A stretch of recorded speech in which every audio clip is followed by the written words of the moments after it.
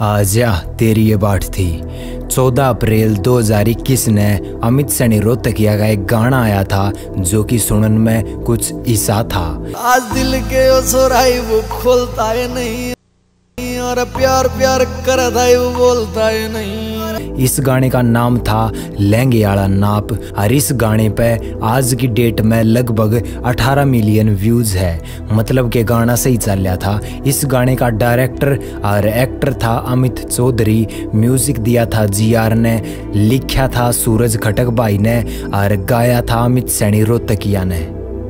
और ईब 16 अप्रैल 2022 ने, यानी कि एक साल दो दिन बाद इस गाने का पार्ट टू आने लग रहा है और इस गाने में आधी टीम तो पुरानी है और कुछ बदल रखी है।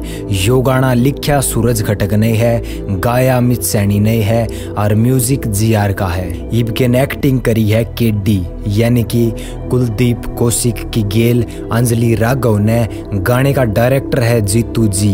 ये बात कर लें कि यो गाना किसा होगा और कद रिलीज़ होगा तो यो गाना पहले की डालाई एक सैड सॉन्ग होने वाला है और रिलीजिंग डेट और टाइम की बात करा तो यो गाना 16 अप्रैल ने तड़के 10 बजे आवेगा और यो गाना पर्पल म्यूज़िक म्यूज़िक लेबल था होगा जिस पर तय थोड़े दिन पहला के पी विंटोर का शुरू में आया था उम्मीद तो यह करा हाँ कि यो गाना पहले पार्ट ने बीट करे पर असलियत तो गाना आने के बाद बेरा लगेगी दिलेर के मोटो की ढाल दूसरा पार्ट और भी हिट होगा। या भोलेनाथ और लूट लिया की ढाल दूसरा पार्ट पहले तक कम चल लगा।